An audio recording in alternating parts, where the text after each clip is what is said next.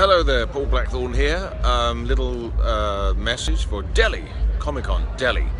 Um, looking forward to being there in a few weeks' time. So, um, just uh, leaving Atlanta now and uh, see you in Delhi in a few weeks' time. Thanks very much. Teen Guna Lagaan.